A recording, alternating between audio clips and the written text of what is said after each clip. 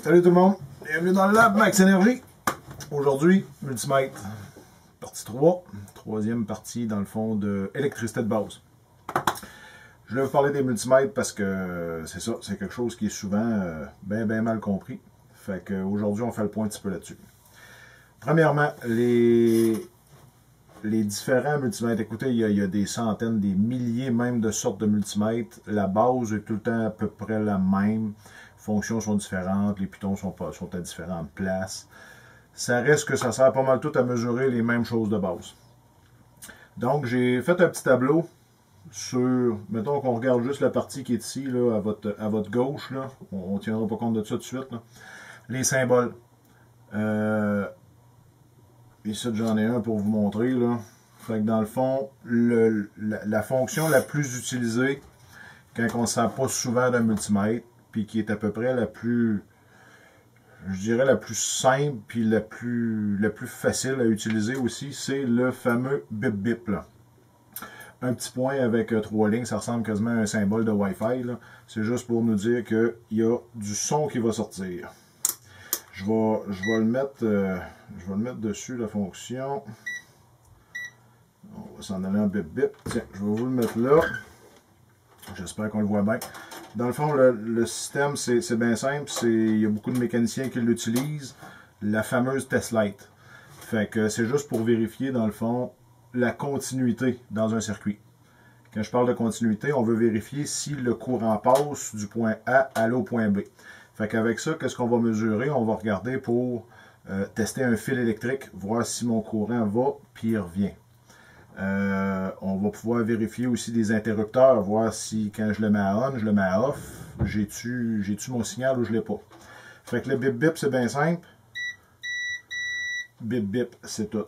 Je vais juste enlever les probes de dessus, ça va aller un petit peu mieux. Normalement, notre multimètre, quand on est en continuité ou en mode résistance, qu'on va voir tantôt, on a assez souvent, dépendamment des marques de multimètres, mais je dirais 95% des multimètres vont marquer OL pour dire qu'on est over range. Fait que dans le fond, c'est normal que ça marque OL, c'est parce qu'on ne mesure rien présentement. Si je touche les deux fils ensemble, j'ai mon bip, puis j'ai la valeur de la résistance qui est affichée. Donc, qu'est-ce qu'on check avec ça? Bon, regardez, on va regarder, euh, hmm, tiens, un bout de fil. C'est sûr, regarde, je viens, je viens un peu de le tester en touchant les deux fils ensemble, mais je veux tester un bout de fil d'une installation, fait que je touche un bout, je touche à l'autre, le courant passe-tu, il passe pas, excellent, ça passe, c'est bon. S'il faut que ça passe, c'est bon, s'il faut pas que ça passe, c'est pas bon, en tout cas. Euh, on va vérifier, euh, exemple, un interrupteur. Des fois, les interrupteurs, ils ont beaucoup de pattes, on ne sait pas trop comment le brancher. Euh, je vais essayer les différentes combinaisons, puis je vais voir si ça fait le job que je veux que ça fasse. J'essaye deux pattes. Ah, ça fait rien là. Ah. Comme ça, mon courant passe. Puis là, après ça, on peut checker les autres. Même manière. Ah, là, c'est sur l'autre bord. Fait que là, je pourrais faire mon circuit parce que quand ça fait bip, je sais que mon courant va passer. Fait que donc, euh, le bip bip, testeur de continuité, fonction super de base, mais euh, ô combien utile. Chose à faire attention, on ne va pas tester, on va pas tester une prise de courant en fonction bip bip. La fonction bip bip continuité, c'est seulement quand le circuit est désalimenté. Donc, on n'a pas de courant. Fait qu'il ne faut pas que ça soit branché sur une batterie, il ne faut pas que ça soit branché sur le 120 volts ça va probablement faire toutes sortes de niaiseries. Ça peut même briser votre multimètre. Fait c'est la fonction continuité, tester fil, interrupteur, d'autres choses, mais la base, c'est pas mal ça. Avec son petit symbole Wi-Fi. Là. Euh, sur certains multimètres, comme sur celui-là, je ne sais pas si vous allez bien voir, on a comme trois symboles sur la même coche. On a le bip bip de continuité, on a les ohms, puis on a les diodes. À ce moment-là, il va falloir choisir celui qu'on veut. Lui, c'est le mode select. Fait que présentement, je suis en bip bip. Si je pèse une fois, je tombe en diode. Si je pèse une autre fois, je suis en résistance. Pas plus compliqué que ça. Puis les autres multimètres, assez souvent, on va avoir le bip bip aussi, euh, vois-tu, avec, avec la résistance. Fait que lui, c'est un peu la même façon. Sauf que lui, il est automatique. Fait qu'au début, il va commencer en mode résistance. Puis s'il voit que la résistance est trop basse, il tombe en mode bip bip. Ensuite, euh, celui-là ici, ben regardez, c'est un peu la même chose. J'ai le bip bip, la résistance et les diodes. Celui-là ici, ben j'ai euh, encore là, j'ai une sélection à faire. Si je veux aller, là présentement, je suis en bip et diode. Présentement, je suis en résistance. Fait que des fois, on a une sélection à faire, d'autres fois non. Ça dépend toujours des multimètres. Ça, c'est mon, mon. Euh, c'est quand même un vieux modèle de flou qui est discontinué. Modèle 12 super efficace, bien bien simple. Il y a juste il y a off, vérifier le voltage DC, AC, vérifier la résistance, la continuité. Il n'y a, pas, a pas grand chose, bien de base, mais c'est un multimètre que je brosse depuis euh, les 15 dernières années à tous les jours. C'est dans ma poche d'outils, fait que c'est assez, assez fait solide.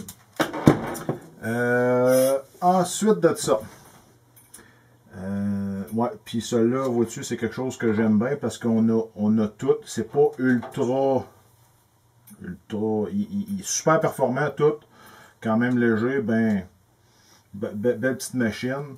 Par contre, pour traîner à tous les jours, quelqu'un qui s'en sert, c'est peut-être pas le best. Mais pour quelqu'un qui travaille occasionnellement, qui veut commencer euh, à quelque part, ça c'est à peu près le choix là, assez idéal.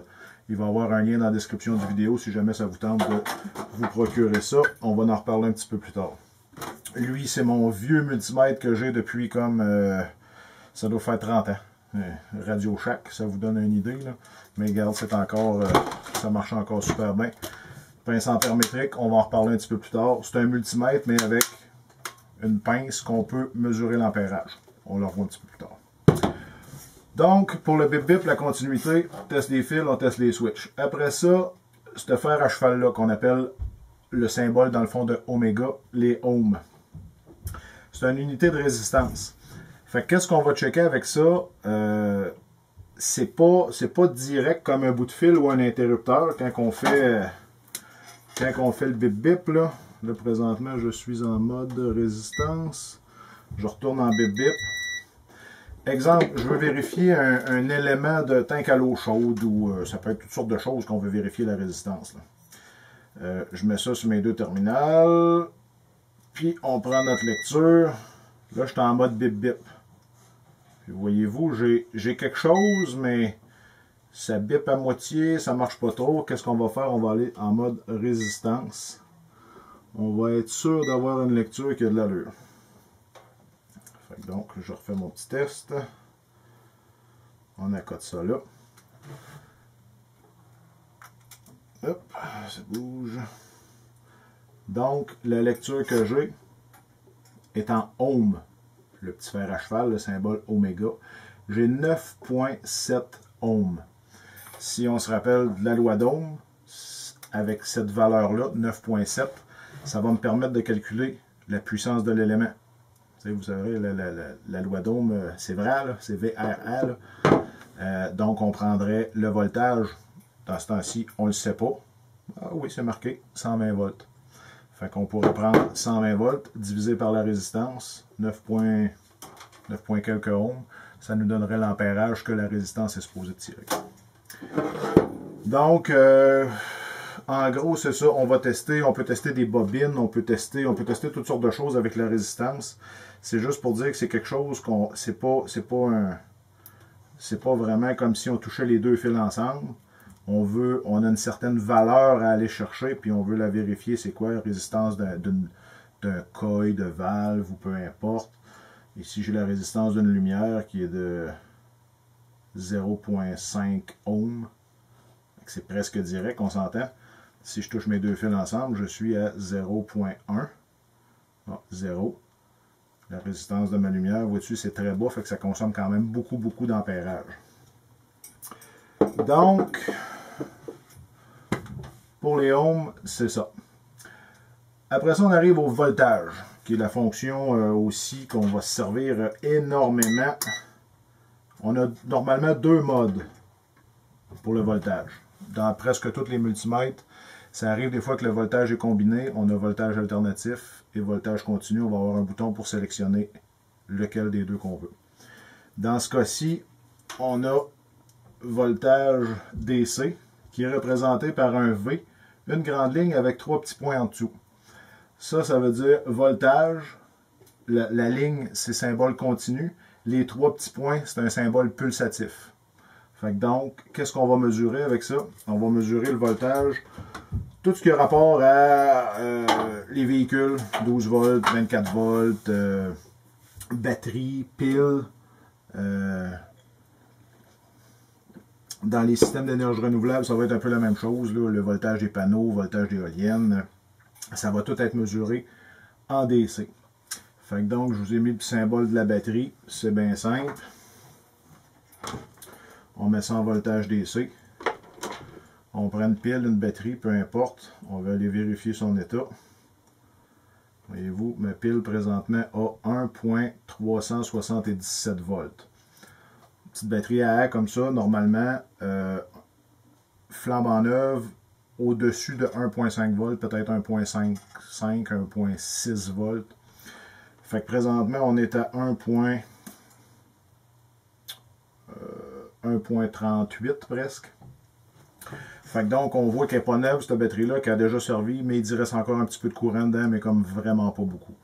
Euh, normalement, en bas de 1.3 volts, là, 1.2 volts, il n'y a plus grand-chose qui fonctionne avec ça. Euh, on peut vérifier, bon, batterie, batterie 12 volts, même chose, peu importe la batterie. Tout ce qui est batterie, pile, DC, c'est DC qu'il faut retenir. Voyez-vous, 12.40 volts. Fait que ça nous donne euh, ça nous donne un petit aperçu. On va revenir plus tard dans le chapitre des batteries. Ça veut dire quoi, puis on l'interprète comment cette valeur-là? Fait pour l'instant, ce que je veux que vous reteniez, là, la différence entre lui, voltage DC, communément appelé VDC, puis l'autre en dessous, voltage AC, communément appelé VAC. Fait VDC, voltage DC, la ligne droite avec les trois petits points en dessous, c'est vraiment tout ce qui est batterie. Voltage AC, avec une, dans le fond, c'est une, représentation graphique d'un sinus.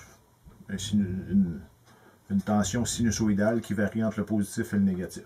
On ne rentrera pas dans les détails là-dessus un peu, c'est un peu trop avancé. Ce que je veux que vous reteniez, c'est que ce symbole-là, V, avec la petite vague, VAC, c'est un voltage de courant alternatif. Ça, on retrouve ça dans les maisons. Fait que ce qui est 120 volts, 240 volts. Toutes les prises de courant de maison, euh, c'est tout à 120 volts ou à 240 volts. Il y en a d'autres tensions aussi, 347, 600 euh, dans, le courant industriel, mais on n'ira pas là. Fait que je l'ai représenté par le petit, euh, le petit bonhomme, euh, la petite prise électrique. Fait que donc, si on met, exemple, notre multimètre en mode AC, puis qu'on veut mesurer du voltage DC, ça ne marchera pas. Si on fait l'inverse, on met notre multimètre en mode AC, puis qu'on veut mesurer, euh, on, le met en mode DC, puis on veut mesurer du AC, ça ne marchera pas, on n'aura pas de bonne lecture.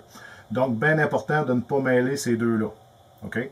DC, tout ce qui a rapport au véhicule, puis regardez, le truc, pour s'en rappeler, la ligne avec les trois petits points, là, ça ressemble aux lignes jaunes que, ça, que sur le chemin, là, ça se fait. Là.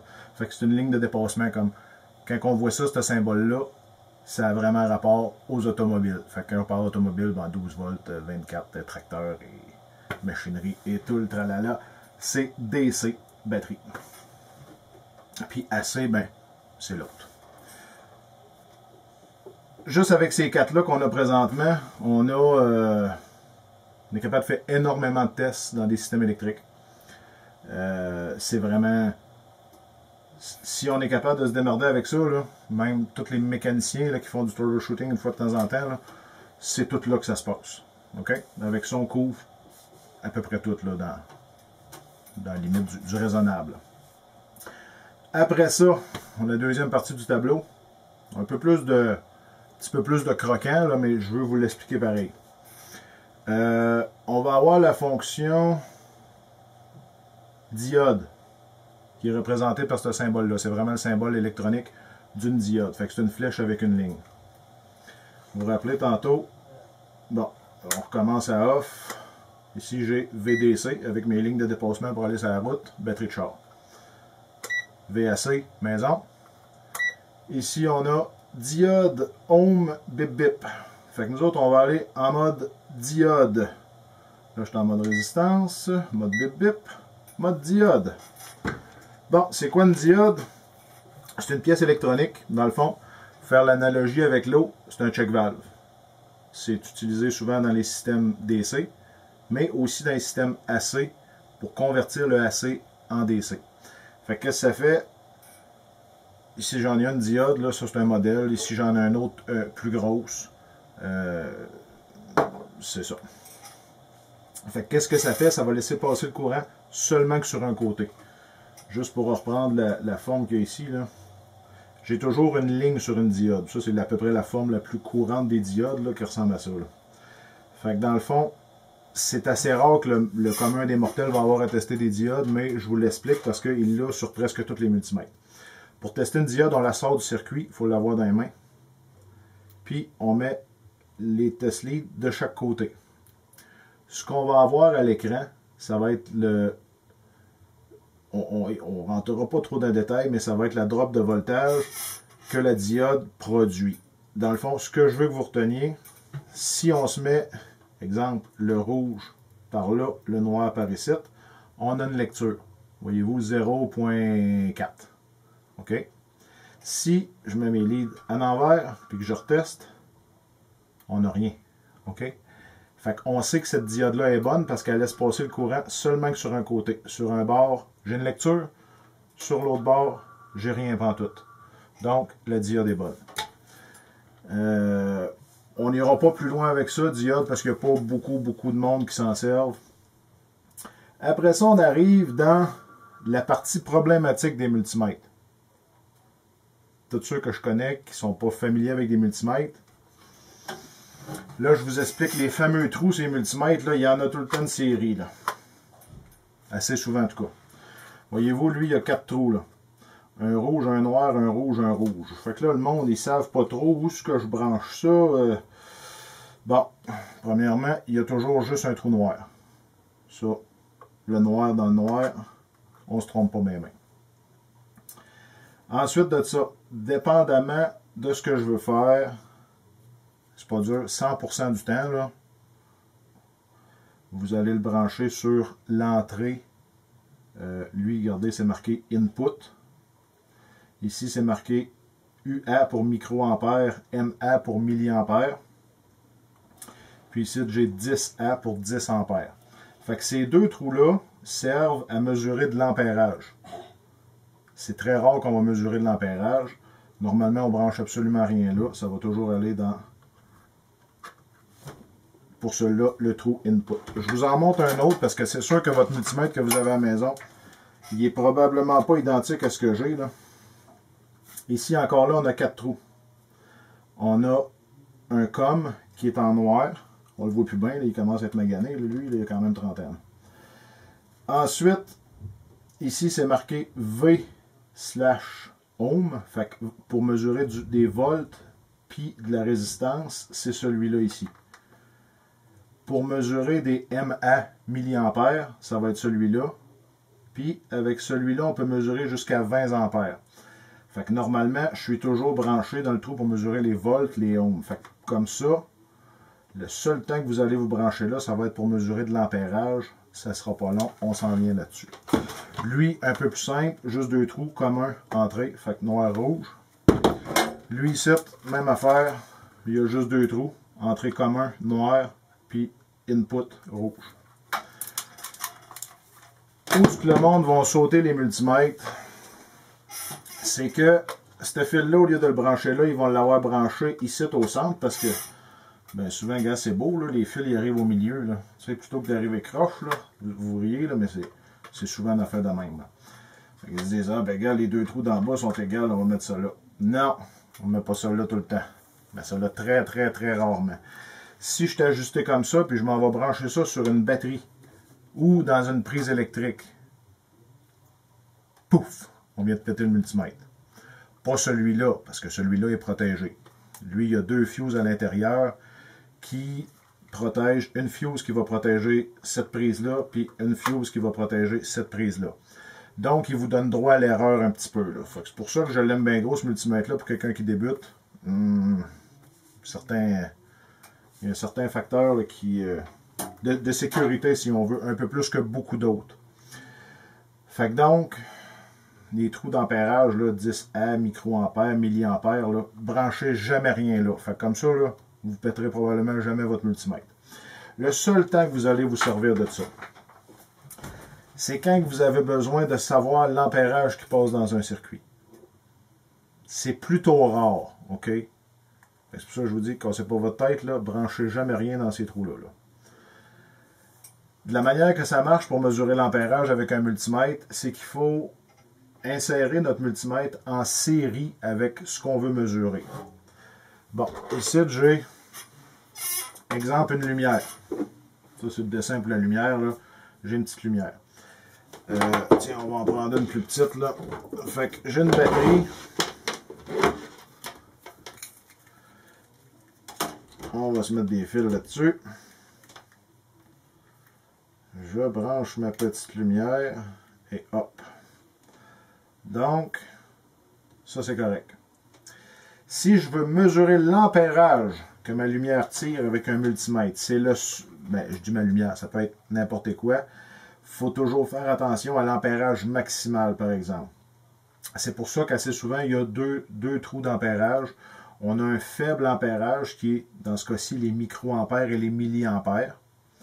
Puis, on en a un plus fort qui va se rendre jusqu'à 10 ampères maximum. Puis ce test-là, normalement, on ne peut pas le le, laisser là pendant une heure ou deux. Dans ce cas-ci, c'est marqué 10 secondes euh, maximum à toutes les 15 minutes. Fait comme on ne sait pas comment de courant que notre, euh, notre lumière tire, on ne prendra pas de chance, on va s'en aller tout de suite à 10 ampères. Bon, là, on fonctionne à partir d'une batterie. Fait qu'on veut mesurer de l'ampérage DC et non pas de l'ampérage AC. Fait qu'on va aller trouver notre fonction ampérage AC. Là, on a dit qu'on se, mettait à 10 ampères parce qu'on ne sait pas. Peut-être que ça tire plus que 10, fait qu'on ne veut pas péter notre multimètre, mais normalement, c'est pas gros, les fils, c'est tout petit. Fait qu'à 10, on va, être, on va être sécuritaire en masse. Ici, dans ce cas-ci, le multimètre, j'ai pas vraiment de sélection entre le AC et le DC. J'ai plutôt un symbole qui ressemble à ça. C'est la combinaison des deux. Ça, c'était le symbole pour le DC. Ça, c'est le symbole pour le AC. Puis dans ce cas-ci, ben, j'ai AC et DC dans la même fonction. Je peut que votre multimètre soit arrangé comme ça aussi, bien possible. Donc, on se met à ce mode-là, ampérage AC-DC. Je mets mon, le fil noir reste toujours à la même place. Le fil rouge, on va le mettre dans 10 ampères pour commencer à faire notre test. donc, je mets ça là qu'est-ce qu'on va faire? Bon, j'ai mes batteries, j'ai mes deux fils, j'ai ma lumière. Je vais essayer de ne pas vous aveugler. Fait que normalement, mon circuit marche comme ça. OK? Pour mesurer l'ampérage, il faut que j'ouvre le circuit. Je me ramasse avec deux fils dans les mains. OK? Puis, ce que je vais faire, je vais venir insérer mon multimètre entre les deux fils que je viens d'ouvrir. Qu'est-ce que ça fait, ça? c'est le multimètre qui se trouve à faire comme une switch, si on veut. Fait qu'on le rentre dans le circuit comme, on rentrerait une switch. Donc ici, le multimètre, on voit, on a une lecture. Il me dit que, ah, je suis en train de lire du DC présentement. J'ai la petite ligne avec les trois petits points en dessous. Il me dit 0.165 ampères. Donc, mon ampérage, je l'avais mis à 10. Fait que, écoute, je suis sécuritaire en masse, en masse, en masse. Vu qu'on va on, va le changer de place pour avoir plus de précision un peu, malgré qu'on en avait déjà quand même assez. Mais on va juste le changer de place. On va s'en aller en milliampères, qui se trouve d'être là, MA. Parce qu'on sait qu'on ne dépasse pas notre 10 ampères, là, fait qu'on est correct. Donc, je remets ça dans mon circuit. Euh, ça, ça va là. Bon, la petite lumière est là.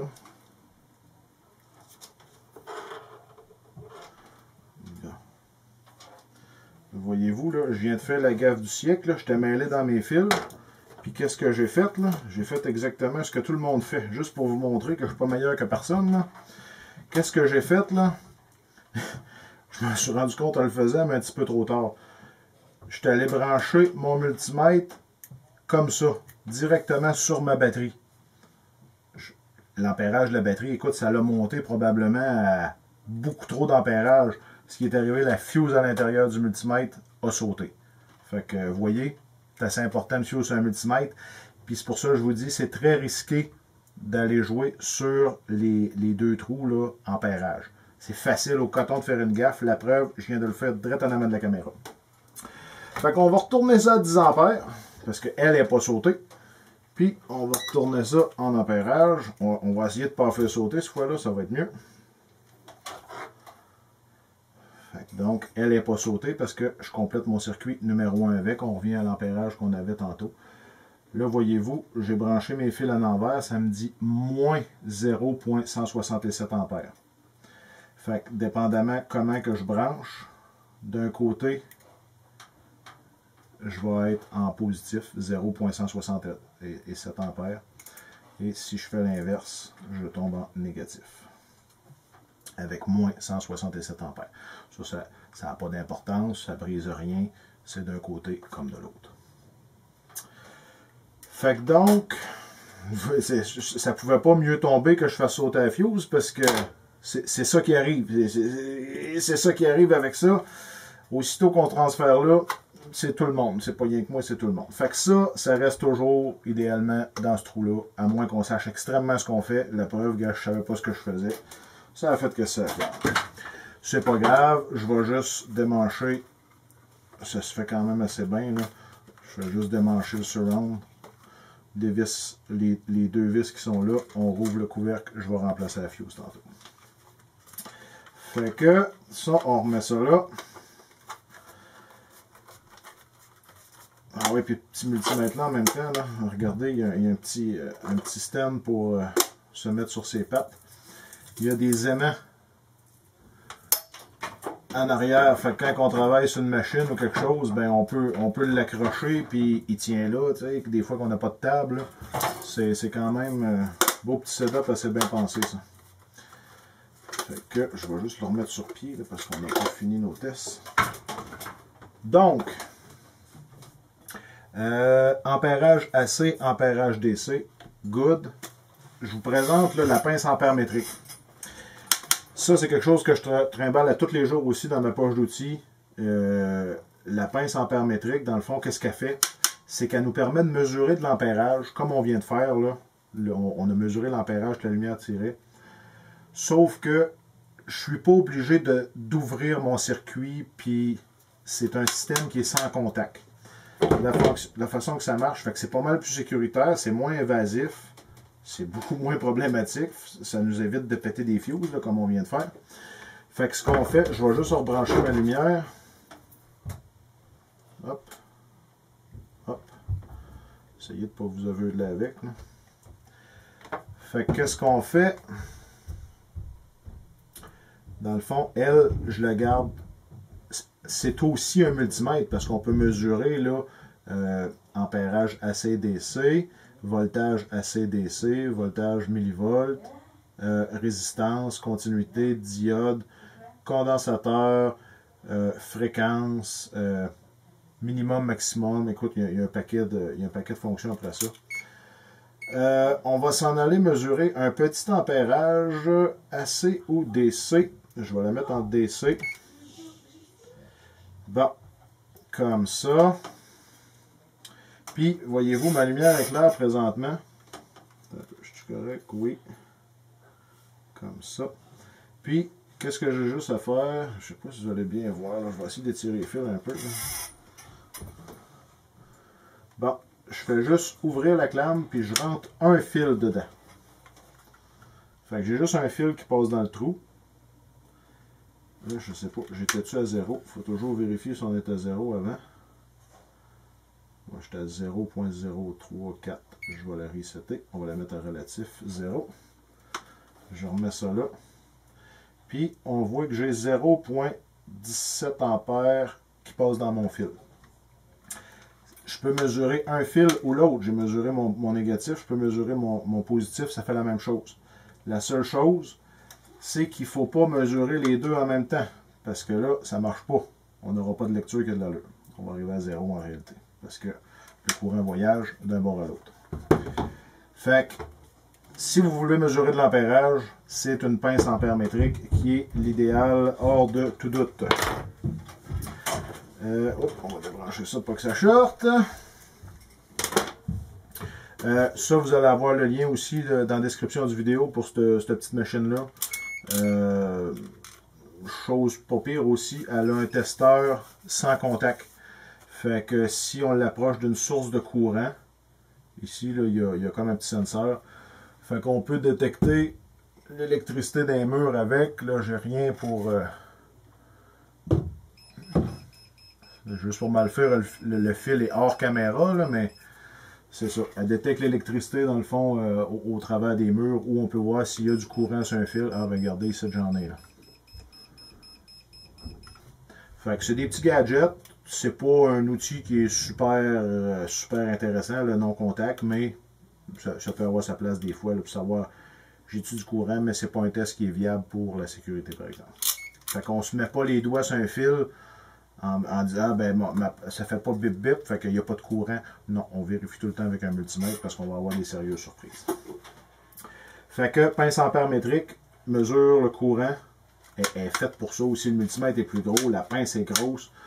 Euh, avec ce modèle-là, on peut mesurer jusqu'à 1000 A AC, 1000 A DC. Ça veut dire qu'on veut vérifier, exemple, un starter, un démarreur sur euh, euh, une machine, un char, un pick-up, n'importe quoi. On veut, voir un alternateur. On veut regarder l'ampérage que produit une éolienne, que produit des panneaux solaires,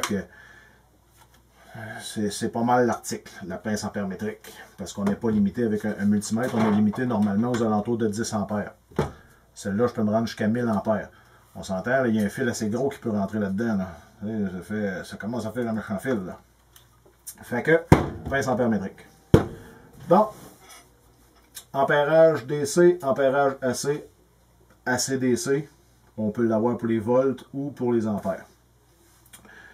Euh, la vidéo commence à s'allonger. Il reste encore une coupe de, euh, petites patentes à couvrir. Juste d'autres fonctions vite faites qu'on a sur beaucoup de multimètres que vous vous servirez probablement presque pas ou jamais ou plus en électronique. Fait que ceux qui sont plus, euh, plus orientés électronique vont s'en servir. Moi personnellement je m'en sers de ces fonctions-là, mais c'est ça, c'est pas, pas pour tout le monde. On va avoir un testeur de condensateur qui est ce petit symbole-là une ligne droite avec une petite ligne courbe. C'est vraiment pour tester tout ce qui est condensateur. Fait qu'autant les condensateurs AC que les condensateurs DC. Euh, on a plusieurs gammes encore là, euh, microfarad, farad, millifarad, picofarad, nanofarad, patati, patata. Je vais juste vous expliquer vite fait pour quelque chose qu'on sert à tous les jours, bien franchement. Euh, les Hertz, HZ, on mesure une fréquence. Ça, ça peut être intéressant ceux qui ont une génératrice qui veulent ajuster le moteur. Parce qu'une une génératrice, la fréquence est liée à la vitesse de rotation du moteur à gaz ou diesel. Donc, on essaye, Hydro-Québec nous fournit, eux autres, une, fréquence de 60 Hz. 59.99 à 60.01, c'est assez, assez comme fréquence. Fait que si on veut regarder une génératrice, si le moteur vire la bonne vitesse, ben on va se mettre en HZ. HZ qui est là, puis on va mesurer une certaine fréquence. On va regarder ensemble la fréquence d'hydro si je suis de me rendre. Je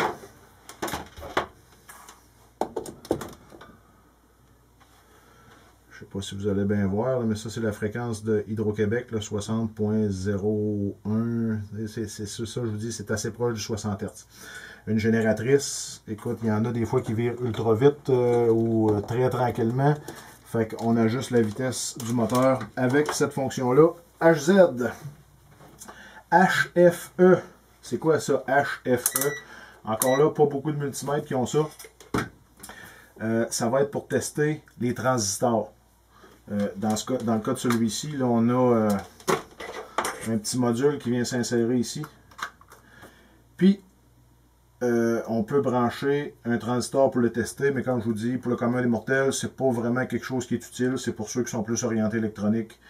Euh, on veut tester un transistor PNP, NPN, on fait juste le planter là. Puis on va voir son HFE spécifique au transistor. Je rentre pas plus de ça dedans. Autre chose qu'on a, pas tout le temps, mais qui est une belle petite fonction à avoir, la température. On va avoir une sonde qui ressemble à celle-là ici. Ben, comme avec celle-là, on l'a. Euh, une petite sonde qui est quand même haute température. Puis, on va venir brancher ça dans notre multimètre. On va se mettre à la fonction degré C, degré F. Puis, on voit la température live qui fait.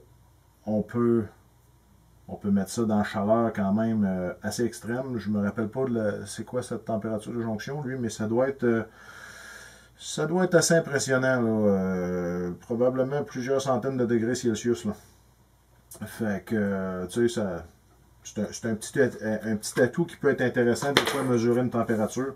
Puis si on l'a d'inclus avec le multimètre, ben tant mieux. si vous achetez un multimètre, fonctions qui sont assez importantes, c'est vraiment bon à, avoir. Euh, fonction auto-off, automatique off. Si je laisse mon multimètre là, je fais un test, je m'en vais, je pars, euh, je l'oublie carrément. C'est pas bien ben long que les batteries vont se mettre à terre. Question de couper d'heure, puis tu reviens, puis il n'y a plus de batterie dedans. Fait que la fonction automatique off, dans le fond, qu'est-ce qu'elle va faire? C'est qu'après tant de temps, dépendamment des marques, il y en a que c'est 10 minutes, il y en a que c'est 15 minutes, il y en a que c'est 20 minutes, 5 euh, minutes, peu importe. Après tant de temps, flout, le multimètre se ferme, sauvegarde la batterie. Ça coûte beaucoup, beaucoup, beaucoup, beaucoup moins cher de batterie par année. Ensuite de ça, autre fonction intéressante, rétroéclairage. Celui-là, il l'a. Euh, il y en a une coupe qui l'ont aussi. Elle, elle l'a. Des fois, on travaille à, à brunante un peu à noirceur ça peut, euh, ça peut être assez intéressant d'avoir une fonction, euh, fonction rétroéclairage. Même la pince en permettrait qu'elle ait une lumière au bout pour voir qu'est-ce qu'on fait là. En plus de son rétroéclairage. Fait que des petites fonctions assez intéressantes. Euh, ensuite de ça, bon, ben, qu'est-ce qu'on a d'autre là-dessus comme Python? minimum, maximum. Ça peut être intéressant si on veut enregistrer une variation de tension, de voltage dans le fond.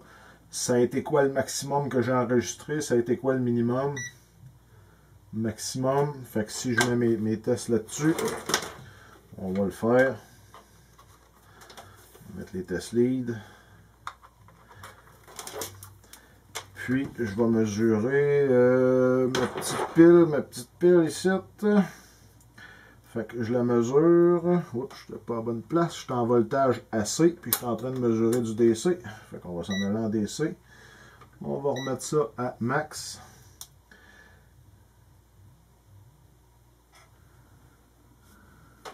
Bon, pourquoi ça ne l'a pas enregistré là? Range, ok. Erreur du pitcher. Bon, Là, je ne suis plus en max, par exemple.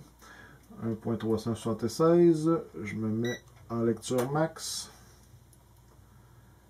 1.376. Même que je le lâche, voyez-vous, la lecture reste là. Il enregistre ma lecture maximale. Si j'ai plus de, plus de voltage un peu, je vais vérifier une batterie 12 volts. Je la mesure. Il s'est mis over range. On va enlever le range.